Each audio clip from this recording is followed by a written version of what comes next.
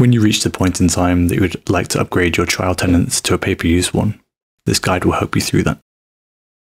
So once you're logged into CloudRT, select Upgrade Tenant from the sidebar. Then read and accept the terms and conditions and click Next. Fill in your billing information. It should be known that the billing address you provide will be visible on all future invoices. Please be aware that once you click Add Payment Method, your subscription upgrade will automatically trigger. This is due to the fact that the next step of adding the payment method can be continued any time after. You should also be aware that once the upgrade has been triggered, your streaming projects will automatically be disabled until you enter a payment method. Lastly, fill in your payment information to complete the subscription upgrade.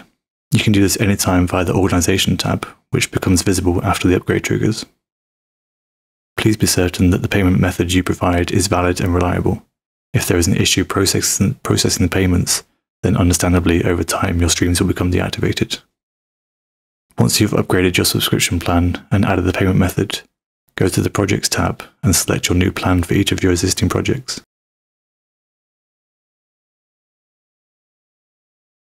Now you are officially set up on the Arcware CloudRT platform, and you can enjoy the benefits of your new pay-per-use tenant.